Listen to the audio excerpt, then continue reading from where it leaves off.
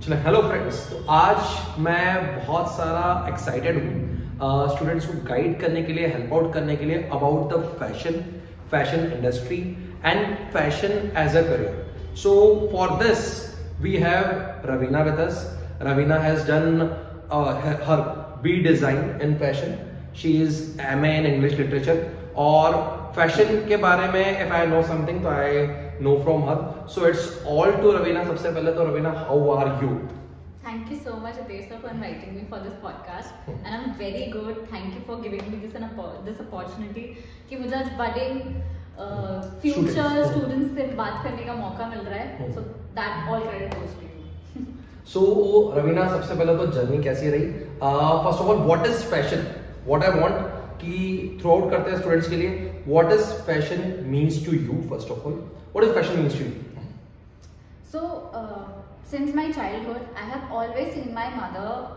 dressing the best I mean she has best I for fashion and colours so सबसे पहले तो you know we always think कि you know we only have to dress well for the interviews and if you are going to a place I think we should dress well every moment of the day just to make make ourselves feel very good. The moment you start dressing good, half of your war is already won because जो fashion जो आप जिस तरीके से dress up करते हो that shows that what are you feeling that day you know every morning we ponder that how am i feeling today am i feeling good am i feeling sassy am i feeling sexy am i feeling authoritative so accordingly you will dress correct so for me fashion has always been more like an expression कि मैं आज कैसा feel कर रही हूँ that is how I'm able to you know sit here it's more like an expression what do you feel is what do you show to the world So it's conversion of feeling, Feeling. into your attire. Correct. Means your attire speaks about your Speaks about feelings. To very मैं fashion में उतना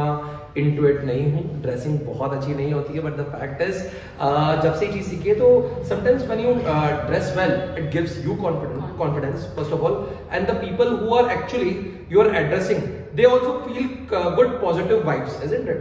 So this is what uh, what ravina wants to tell. Uh, second ravina what is now fashion as a career? Fashion as a career for student तो उसके बारे में क्या बताना चाहोगे सबसे पहले? कि कौन कौन सी एग्ज़ाम्स रहती हैं क्या रहता है? मतलब फ़ैशन एज अ करियर क्या है? And then we will move on to कि स्टूडेंट्स कैसे उसको परस्यू करें? Yes fashion as a career See, fashion is not only limited to design. Mhm. Uh, when you go to Google and Google is going to tell you n number of things कि fashion में हम आज कौन सा career choose कर सकते हैं you could get get into fashion designing, styling, retail manager, retail sales and I mean इतना vast हो चुका है हमारा fashion industry that now there's a job for visual merchandiser कि मैं मैंने में आपको स्टोर चला रहे हो मैंने में कौन सी डिज़ाइन लगेंगी that is what a visual merchandiser usually decides so इतनी वास्ट है ये industry but you just need to decide that if if the fashion industry is actually very appealing to you और नॉट सो so, ऐसे दो या तीन field जिसमें normally students जाते हैं मतलब अगर मैं पूछना चाहूँ कि जब वो फ़ैशन एज अ करियर में चूज़ कर रहे हैं तो can you give two two three names कि sir fashion as a designing में चले जाएँ या fashion as a retail marketing में चले जाएँ व्हाट यू स्पीक तो ऐसे तीन पॉइंट्स जो फ़ैशन करियर की जो अच्छी पोस्ट है या अच्छी ब्रांड पोजिशन है।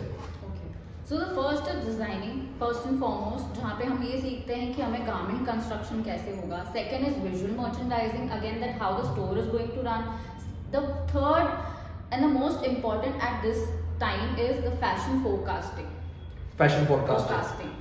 And this is a this may be a new subject but fashion forecasting has been running in that industry since decades. And now it's being being taught. तो I think definitely आज हम sustainable fashion की बात करते हैं then definitely you have to study fashion forecasting कि हमारे आने वाले टाइम में क्या चलने वाला है। तो इसका मतलब फ़ैशन फोरकास्टिंग मतलब मैं फोरकास्ट करना चाहूँ क्या नेक्स्ट मंथ क्या फोरकास्ट होने वाला है या नेक्स्ट ईयर से क्या ट्रेंड आने वाला है? Every season uh, goes through forecasting like you know her year i if i'm sure if i'm if i get it right the people into fashion they know what are pantone shades. So Hmm. every year designers or the industry comes up with pantone shade of the Hmm. year.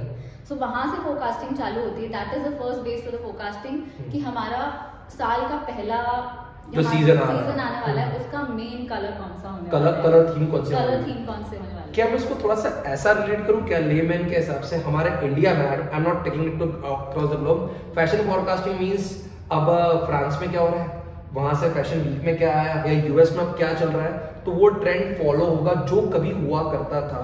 क्या right now भी ऐसा है? Like like, मैं जब checkout करता हूँ तो like we are from Indore तो whenever someone have to buy the cloth for their wedding और some big occasion they move to Mumbai और दिल्ली और या किसी सिटी जहाँ पे फ़ैशन पहले आ चुका होता है। मतलब इंदौर से फ़ैशन एक महीना पहले मुंबई में आ जाता है, कि वहाँ पे नया आपका कलेक्शन आ जाता है, नया ट्रेंड आता है। हम बोलते हैं आजकल अब ट्रेंड में ये चल रहा है वापस से। तो वो बहुत बार ये होता है, वापस से। इसका मतलब ट्रेंड इटसेल्फ रिपीट्स इटसेल्फ तो क्या ये वैसा एंगल होता है जो फ़ैशन फॉरकास्टिंग की बात करते हैं, कि कुछ something new see a lot of times what happens is when we talk about forecast अभी तक तो ऐसा देखा गया कि पुराना ही fashion now you see bell bottoms are again in fashion correct that that was back in I think 40s और 50s Amitabh Amitabh correct तो वो तब का फ़ैशन अब वापस आया है so this is what forecast is maybe you will come up with something new और again you will continue doing what was being done in your 50s 60s और 70s सो फोरकास्ट सिर्फ़ नई चीज़ों को लेके भी हो सकता है depending if is a budding designer और somebody in the industry who has new ideas. Okay so this is the three careers. अब मेरा बहुत इंपॉर्टेंट क्वेश्चन है just for the students if there are some, let's say, first of all, take a category of there are some 12th grade students जिनकी schooling अभी खत्म होने वाली है they want to pursue career in fashion first of all there are lot many B Com BBA students out there जिनका B Com BBA चल रहा है एंड उसके साथ वो fashion designing as a career pursue करना चाहते हैं। तो ये दो ऐसी कैटेगरी होती है जहाँ पे बच्चा एक्चुअली इन इनटेक होता है फ़ैशन में। तो सबसे पहला क्वेश्चन तो how you Ravina, you get into the fashion as a career because uh, uh, long time back I have taught you in class 12 and I was not aware that you are a fashion person because to be very frank I am a commerce teacher. So कैसे fashion में गए कैसे start किया first of all your story and then the guidance for the student. So when it was back in I think 2013, Sajal जो पढ़ाते थे, it's been 10 years to that, and from day one since I came to know about fashion, it influenced me on greater levels because मुझे पता था कि मुझे fashion industry में तो जाना है but I was still not sure what would be my first step since मेरी फैमिली में को भी कोई उस फ़ील्ड से रहा नहीं except for my mom but she was you know वो अपने टाइम पे भी बहुत पुराने टाइम की इन्फ्लुएंस तो हमेशा से मॉम का रहा ही है। एंड when मैंने जैसे अपनी ट्वेल्थ पास आउट करी I did not know which person to you know go to would counsel me regarding that but I took my time मैंने इंदौर में एक कॉलेज ज्वाइन किया not take the name because वहाँ पे मेरा experience इतना अच्छा नहीं रहा because again your faculty your atmosphere of the college really determines कि आप कितने अच्छे अपनी डिज़ाइन फ़ील्ड में बन सकते हो hmm. तो उसका बहुत ज़्यादा इन्फ्लुएंस रहता है second I always knew knew that is one of the best best in India and I really wanted to get into it. So meanwhile, I, I was still enrolled in this local college in Indore. I was preparing for my NIFT exam because I knew that I wanted to get there. So I अपना NIFT का exam clear किया and I got into it and I moved to Navi Mumbai. That is where my journey for actual journey for fashion industry started.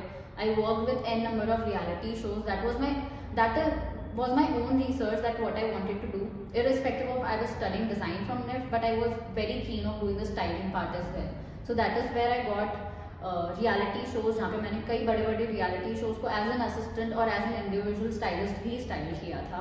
I work with beautiful designers and there is one more thing I would like to mention that guys if you really want to work with big designers there are ऐसे भी designers हैं जो सिर्फ़ Pearl Academy या NIFT के students को ही employ करते हैं. This is actually the truth of the industry if you willing to work in Bombay मतलब यहाँ पे एक इनपुट आ गया दो नाम आए मैं उसको पहले और एलाबोरेट करूँगा NIFT and the Pearl Academy तो अगर कोई स्टूडेंट को गेट इनटू द फ़ैशन आना है एंड इफ़ ही और शी इज़ क्रैकिंग नेफ्ट और नेफ्ट से एसोसिएट कॉलेज लेते हैं तो उनके करियर प्रोस्पेक्ट्स थोड़े से पॉजिटिव हो जाते हैं और उनको एक इजी गेटवे थ्रू मिलता है to get assist by to get assist to big designers out there isn't it तो अब फ़ैशन स्टार्ट हुआ मुंबई से। मतलब फ़ैशन करियर स्टार्ट हुआ मुंबई से as far as Raveena concern but that is something long back अब तो शायद इंदौर में भी मेरे ख्याल से बहुत अच्छे सारे, बहुत अच्छे फ़ैशन कॉलेजेस हैं, बहुत अच्छे सारे इंस्टीट्यूट्स हैं।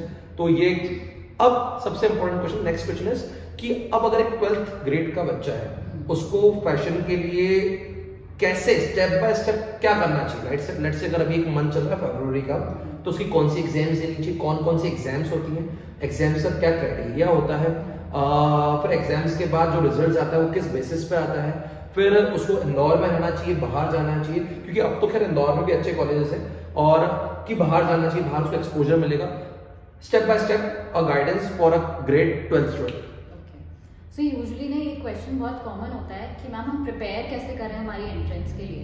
And there are lot of times बच्चे बोलते हैं कि हम ब्रेक ले लें या ट्वेल्थ का यू नो बोर्ड एग्ज़ाम दे दिया and then they take a break of one year so I would suggest if you are capable enough कि आप अपनी ट्वेल्थ बोर्ड्स के साथ साथ आप अपना निफ्ट का एंट्रेंस एग्ज़ाम की भी तैयारी कर सकते हैं तो डेफिनेटली डू इट एंड अगर आप उसमें भी क्रैक नहीं करते हैं so again go for it do not lose hope because getting into NIFT और any such big institute is not a piece of cake again when I was preparing for my NIFT exam, I'll tell you there were three steps. Hmm. हम पहले सबसे पहली test होती है creative ability test जहाँ पे आपकी sketching और आपकी क्रिएटिविटी देखी जाती है उसके लिए फिफ्टी परसेंट का वेटेज होता है।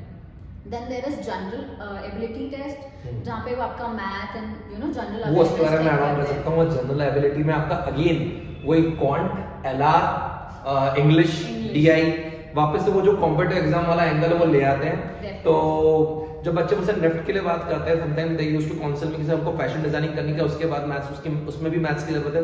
मैं बोलता हूँ एंट्रेंस लेवल पे तो है। एंट्रेंस में एक बैरिकेड वापस से उन्होंने जनरल एबिलिटी या एप्टीट्यूड और रीजनिंग का एक बैरियर लगा के रखा है। उनको थोड़ा सा शायद ये एंगल है कि जिसका माइंडसेट प्रॉपर है जिसको थोड़ा बहुत मैथ्स और रीजनिंग आती है वो अच्छा फ़ैशन डिज़ाइनर बन सकता है। I don't know but this is the criteria कि उसकी एग्ज़ाम होती है प्रॉपर और उसमें चारों subjects can't L R D I और सबसे ज़्यादा आता है इंग्लिश उसमें भी इंग्लिश तो वो आता है तो आपको नेफ्ट के एंट्रेंस के लिए भी पढ़ना पड़ता है। अ केक वॉक की हाँ एक लेवल पे आपको बहुत है क्रिएटिव डिज़ाइनिंग सीखनी पड़ेगी जिसका 50 परसेंट वेटेज होता है but apart from this you have to go through that exam to crack it out अब आपकी क्रिएटिविटी बहुत अच्छी है बट अगर आपकी मेंटल रीजनिंग एबिलिटी अच्छी नहीं है तो कहीं ना कहीं अटक सकते हैं Definitely. Hmm. And once you clear these two steps, there's a situation test. Hmm. जहाँ पे आपको ना कुछ मटेरियल दे दिया जाएगा and you have to make the best use of it so make sure कि जब भी अगर fingers cross that you guys pass pass those two test and अगर आप थर्ड स्टेज पे जाते हो दैट इज़ सिचुएशन टेस्ट वहाँ पे आपको कुछ मटेरियल देंगे एंड आपको अपनी क्रिएटिविटी उसमें भी दिखानी है कि आप वो मटेरियल को आप अपनी बेस्ट एबिलिटी से यूज़ कर पाए and that is like your over with the test that is अपने का प्रैक्टिकल सेशन होगा कि आपको क्या बनाना आ रहा है आपकी क्या माइंडसेट चल रहा है। So this is the three steps to get into the NIFT isn't इसके थ्रू बच्चा जाएगा। अब उसके बाद उसका कॉलेज मतलब कौन से कॉलेज चूज़ करे कौन कौन से ऑप्शंस आते हैं कॉलेज के। For example students clear this NIFT शायद एनआईडी एनआईडी पे एक और एग्ज़ाम एनआईडी सर नेफ्ट की जो एंट्रेंस टेस्ट है वो सिर्फ़ नेफ्ट के लिए है। पर्ल एकेडमी के एंट्रेंस सिर्फ़ पर्ल के लिए है हम्म। और एनआईटी के हाँ. तो वो एनआईटी के तो ये तीनों तीन एग्ज़ाम्स होती है। नहीं अलग अलग कॉलेजेस के अलग अलग एग्ज़ाम्स हैं जिसमें आपको अगेन ऑल इंडिया रैंक लानी होती है to get into that since NIFT is a government college government affiliation है so again the competition is very high there लेकिन वहाँ पे थोड़ा फ़ीस का कंपटीशन मिल जाता होगा शायद। डेफिनेटली तो और एनआईडी के लिए अलग से एग्ज़ाम होती है। तो एनआईडी के लिए भी पूरा प्रोसेस सेम ही रहता है कि थोड़ा सा अलग रहता है? मतलब कि आई थिंक प्रोसेस सेम ही रहता है again because will be testing your creative ability आप कितने क्रिएटिव हैं? And guys make sure that you are practising your human figures you are you are good with colours and you know the anatomy that how everything works out in human body great so so, अगर आपको Pearl Academy जाना है या NEFT जाना है NID again step same ही होती है. One is the 50% is the creative side and the 50% is the mental and reasoning ability जो एंट्रेंस पे तो चेकआउट करते हैं. अब एक बच्चे का इस एग्ज़ाम लेट से उसने क्रैक कर लिया. अब second angle how your life was at Mumbai Mumbai कितना एक्सपोजर देता है? और क्या उतना ही एक्सपोजर कोई और सिटी भी देती है इंडिया में फ़र्स्ट ऑफ़ ऑल सेकेंड क्या लाइक like, जिस रेट से इंदौर ग्रो कर रहा है? क्या इंदौर में भी उतने अवेन्यूज अब हो गए हैं कि बच्चा मोट ही करे उस पर फ़र्स्ट ऑल मुंबई की लाइफ या मुंबई के एक्सपोजर से क्या इनपुट मिला Definitely Mumbai life is very different than what I've experienced in Indore and I, I can guarantee you this, the more exposure that you'll get in Bombay is nowhere close to what you can get in Indore. But yes, if you really want to study the best in fashion then please go to cities that you know high, are high, high in fashion, maybe Delhi, Bombay, Hyderabad.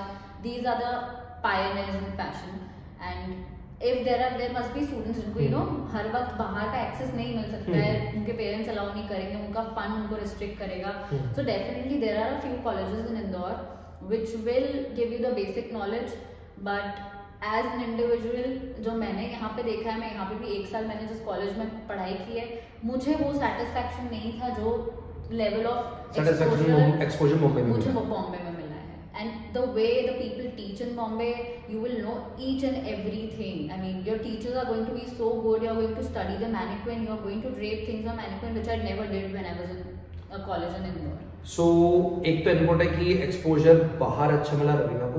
ये बात अलग है कि I am right now I have got a good exposure to colleges तो fashion designing को एक बहुत बड़ा करियर इंदौर ने भी ले लिया है। तो लॉट मेनी कॉलेजेस बट उसके बारे में हम कॉलेजेस के बारे में डिस्कस नहीं करेंगे तो this is a fashion podcast तो हम लोग कॉलेजेस का एंगल साइड में रखेंगे। द नेक्स्ट थिंग इज़ कि what is the cost associated to this course थोड़ा सा इस एंगल पे भी देख लें शॉर्ट में। कि अगर एक बच्चा सोच रहा है मेरे को फ़ैशन डिज़ाइनिंग करनी है तो उसको ये पता होना चाहिए कितना पैसा लगेगा पेरेंट्स का या कितना पैसा उसको इन्वेस्ट करना पड़ेगा। तो वो एक एंगल भी अगर एड ऑन कर पाए सी यूजली ना अब जो फ़ैशन कोर्सेज है वो चार साल के हो चुके हैं so every year and maybe I would say semester wise you are आपको सेमेस्टर फ़ीस तो minimum sixty to seventy thousand लगेगी if you are enrolling in a college मतलब approx 1.4 to 5 lakhs per year मतलब into 4 6 lakhs तो एक normal fees है ही है।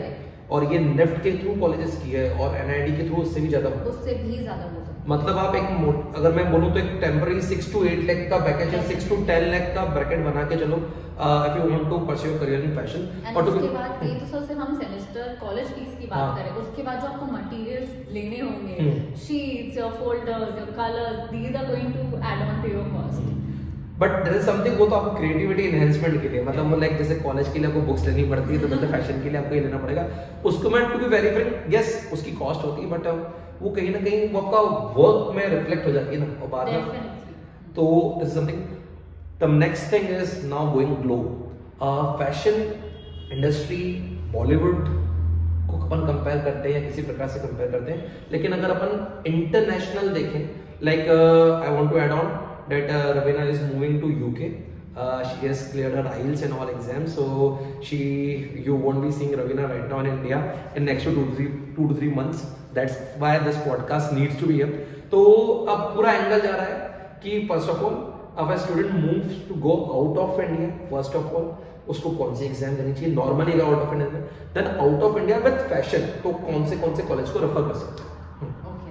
So guys everybody knows and Milan Paris Italy are the finals in fashion जहाँ से फ़ैशन बोलकर चालू हुआ है। सो so, एक वो है सेकेंड बेस्ट आप रैंकिंग्स भी देखोगे जब आप you get to Google and you search the best colleges in the world so दो कॉलेजेस आएँगे two are in U K and I would suggest that U K by U K you should go for U K one that there is easy opportunity for outsiders to get the job second आपको English का barrier नहीं आएगा because again if you go to Milan Italy वहाँ पे you know languages. Difference आ जाता है. You have to learn a new language UK being. English speaking country language friendly हो गया यूके लैंग्वेज फ्रेंडली हो गया। सेकेंडली मेरे ख्याल से शायद थोड़ा ऐड ऑन करूँगा वीजास और इसमें भी जो ज़्यादा प्रॉब्लम नहीं आती। मतलब यूके और इंडिया के अच्छे रिलेशन है कि वो इनटेक ले लेते हैं। मैं राइट और wrong usually what happens is countries है ना स्टूडेंट एप्लीकेशंस एक्सेप्ट कर ही लेती हैं इट्स हम्म। नॉट क्योंकि उन्हें तो पैसा चाहिए। पैसा चाहिए पैसा चाहिए तो हाँ। स्टूडेंट्स के लिए वहाँ इजी हो जाता है but hmm. By UK again आपको यूके की कई सारी यूनिवर्सिटीज काफ़ी सस्ती पड़ी आई वुड से सस्ती हम्म। पैसा तो वहाँ पे भी लगने वाला है हम्म। बट मिलान इटली का अगर बजट 30 टू 40 लाख है तो हम्म। यूके में आप वही course I think 13 to 20 lakh के अंदर अंदर आप पढ़ सकते हो thirteen to twenty lakh is quite reasonable figure Reasonable. Reasonable figure तो UK is a good option next good option if you are not going to Milan and other thing language friendly है job भी मिल जाती है easy visas होते हैं तो this something वहाँ पे why a student will pursue a career on fashion in UK and not in India? ठीक है, थोड़ा सा, क्या बहुत बड़ा इसका पैकेज गैप होता है? कि एक छोटा होता है, वो बताना है मतलब मेन तो क्या क्योंकि because of student any any any of the college grade out there if he is running his own like many of my students are running their own fashion brands getting it they have created their own fashion brands तो क्या बाहर एक अलग ही exposure और एक अलग ही advantage है कि इंडिया में भी आप सरवाइव कर सकते हो, कि you have to go outside ऐसा क्या Guys, this definitely depends, you know, आप लाइफ में एक्चुअली करना क्या चाहते हो there are people who really want to you know start their own brand and you know Hmm. Have their own name that is perfectly fine and that is really it requires a lot of work I I don't deny on that but when you go out आप है ना आपको बहुत अलग अलग culture से आपका interaction होता है। मुझे ऐसा लगता है कि when अगर मैं आज यूके जा रही हूँ तो it's not just me who's coming from India there people who would be coming from Korea who would be coming from Netherlands or some other places. तो मुझे वहाँ पे कितना cultural exposure hybrid cultural hybrid and जब आप यहाँ ऐसे आप यूके ट्रैवल करते हो या आप कोई अब्रॉड कंट्री ट्रैवल करते हो तब आपको पता पड़ता है कि आपकी फ़ैशन इंडस्ट्री या industry any industry in general is not only limited to India मतलब आप फ़ैशन स्टडी करते हो। वहाँ पे वहाँ की स्टाइलिंग अप्रोच डिफरेंट होगी। वहाँ का जो अटायर होगा वो डिफरेंट होगा। वहाँ के जो वियर एथनिक वियर्स होंगे या अलग अलग ओकेशन ओकेशनल वियर होंगे तो वो डिफरेंट होंगे। तो कहीं ना कहीं आप उन लोगों के साथ उनके फ़ैशन में रंग जाते हो और दूसरे लोगों का फ़ैशन भी समझने की कोशिश करते हो तो वो एक एक्सपोजर अच्छा मिल जाता है fashion industry anything else Raveena you want to add on to the student out there? Because this particularly podcast only for the students uh, the college going students and uh, school going 12th grade students कि क्या करना चाहिए कैसा vision होना चाहिए? And अब मैं and में थोड़ा सा ओपन कर देता हूँ it's not only about fashion what are your words कि बच्चा अगर अपने माइंडसेट uh, बना रहा है करियर के not as a fashion as a career तो उसको क्या कैसा प्रोसेस कैसा माइंडसेट होना चाहिए कैसा फनल बना के रखना चाहिए? This is what my question guys अभी यू आर जस्ट 17 और 18 I would really suggest you इतना लोड मत लेना खुद पे कि यू नो आप डिप्रेशन hmm. में चले जाओ। Just feel the moment and आप पढ़ाई तो करो। अगर irrespective you still do not know आपको किस फ़ील्ड में जाना है that is absolutely okay there is no age to pursue any career I am 27 now right now and this like and i'm still willing to pursue my masters uk so you know I, I even if you're feel, feeling that you want to change your career please do not hesitate. Do not think कि लोग क्या सोचेंगे? And you know मेरा इतना पैसा लग चुका है। आप या तो इतने खुद में आप इंडिविजुअली आप इतने केपेबल बन जाओ कि आप खुद की फ़ीस खुद पे करो या तो आप इतने नाकारे बन जाओ कि आपको सुनना ही नहीं है कि लोग क्या कहते लोग हैं। हम्म। so, तो सबसे बड़ा रोग क्या कहेंगे लोग? तो एक तो लोगों की परवाह करे बिना आप अपना करियर परस्यू करो फ़र्स्ट ऑफ़ ऑल सेकेंड थोड़ा फ्री रहो फ्लाई के लिए रेडी रहो. आप बहुत ज़्यादा ओवर थिंकिंग मत करो. टू बी वेरी मैंने अपने एक वीडियो में बताया कि आप बहुत बार क्या होता है ना मंजिलें मिलेंगी भटक के ही सही। गुमराह तो वो है जो घर से निकले ही नहीं।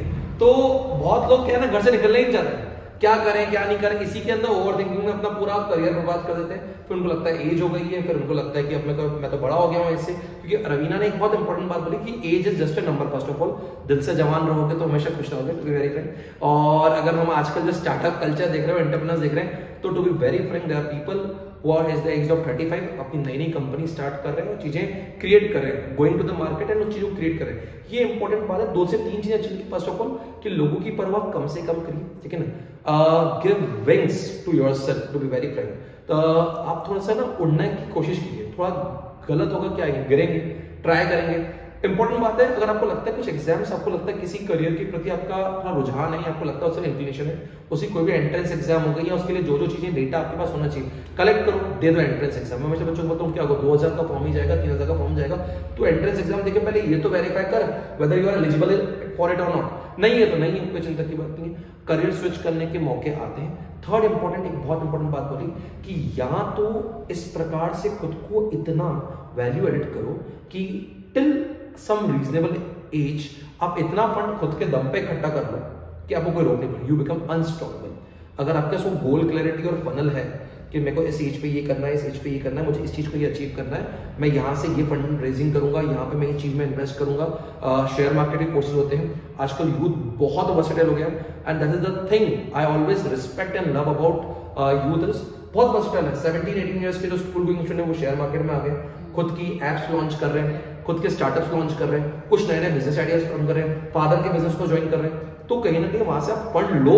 मतलब अगर आप अर्न कर रहे तो कहीं ना कहीं वो आप उसको यूज़ करो। सेकंड कभी कभी ऐसा लगे ना, हम कुछ नहीं कर पा रहे हैं और कोई और हमको स्पॉन्सर कर रहा है तो चिंता मत करो, आपको पे बैक का मौका मिलेगा। अभी अगर आप उसका बहुत लोड लोगे ना कि मैं कितना ले रहा हूँ तो आपको आउटपुट मिलेगा ही मतलब टू बी वेरी फ्रेंक एक इंपॉर्टेंट इनपुट बता रहा हूँ कि जब students use to move out of India और थोड़ा सा फाइनेंशियल एक एंगल वीक होता है उनको लगता है इतना पैसा लगते जा रहा है इतना पैसा लगते जा रहा है। आप विश्वास नहीं मानोगे वहाँ पे जाके जो बेसिक रेट होता है बेसिक वेज रेट होता है वो उसी पे अगर आप वर्क करते रहो तो दो तीन साल में आप पूरा पैसा रिफंड कर सकते हो। और अगर आपको अच्छा जॉब लग जाए तरीके का तो, तो आप विद इन वन और टू ईयर्स वो पूरा रिफंड आ जाता है। लेकिन इसके ब्रेक में क्या होता है हम लोग ये सोचते थे इतना लगाएँ कि नहीं लगाएँ? गेटिंग इट लेकिन हाँ मेंटली स्ट्रांग होना पड़ता है। जब मैंने are moving out of the country even mentally strong होना where are pursuing any career तो वो जो मेंटल फनल है उसको स्ट्रांग रखेंगे दिल को जवान रखेंगे तो चीज़ें होती रहेंगी। Anything last from Raveena you want to add on और you want to any memories जो हमने पढ़ाई करती रवीना uh, से बहुत टाइम बाद मिल रहा I have taught and any memories you want to share और anything last word to students I would definitely say Hitesh sir के पास आओ। आपको हर सोसाइटी नहीं आई एम टेलिंग यू आपको हर इंडस्ट्री का कुछ ना कुछ सॉलिड सर से मिल ही जाएगा। And he is such a good motivator I am telling you ऐसा ऐसा रिकॉर्ड करने के लिए बोला था। But to be very frank जो इसने एज के बाद बताई ना मैं टू बी वेरी फ्रेंक हमेशा ट्राई करता हूँ कि मैं कनेक्टेड रहूँ अलग अलग चीज़ों से ताकि आप ग्रोथ माइंडसेट से चलो। जब तक आपका माइंड बुरा नहीं होगा तब तक आप चीज़ों को go and get out things करते रहेंगे तब तक आपके अंदर वर्सिटिलिटी बढ़ी हुई रहेगी। अचीवमेंट पावर बना हुआ रहेगा, सबसे पहले दिल से जमा रहेगा so thank you so much all of you it's been good with Raveena thank you so much I have called her and she was there out for me कि नहीं सर करते हैं बच्चों के लिए कुछ अच्छा। तो thank you so much have a nice day and nice life and nice career